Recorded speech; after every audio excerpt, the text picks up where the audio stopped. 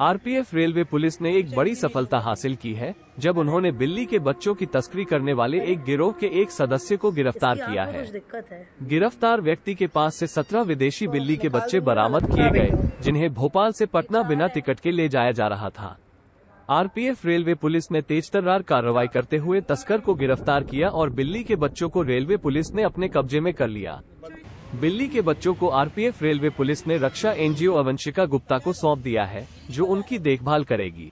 ये एक, आदमी भोपाल से पटना गैर कानूनी रूप से बिना टिकट के सत्रह बिल्ली के बच्चे अलग अलग साइज़ के झोले में पूरा कैद करके उनको लेके जा रहा था बेचने के लिए। तो जीआरपी ने पकड़ा था उन्होंने हमें बताया और फिर हमें सुपुर्द किया है उन्हें। ये कहाँ से कैसे बच्चे हैं ये मतलब ये पर्शियन कैट के बच्चे हैं। अ, कुछ एक महीने के बच्चे हैं और कुछ तीन महीने के हैं कुछ दो महीने के अलग अलग साइज़ के बच्चे हैं। और इनको एक तरह से कहिए तस्करी के लिए ले जाए हाँ तस्करी की जा रही थी इनको बेचने के लिए पैसे कमाने के लिए ही और गैर कानूनी रूप से की जा रही थी।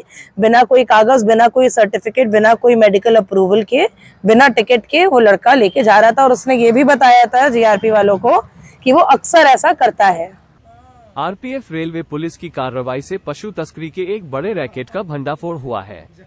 गिरफ़्तार व्यक्ति से पूछताछ की जा रही है और गिरोह के अन्य सदस्यों की तलाश जारी है। आरपीएफ रेलवे पुलिस जानवरों की तस्करी पर लगातार नज़र रख रही है और ऐसे अपराधों को रोकने के लिए कदम उठा रही है। बिल्ली के बच्चे अब सुरक्षित हाथों में हैं और उन्हें वो देखभाल मिल रही है जिसकी उन्हें ज़रूरत है। आरपीएफ रेलवे पुलिस की त्वरित कार्रवाई ने इन निर्दोष प्राणियों की जान बचाई है।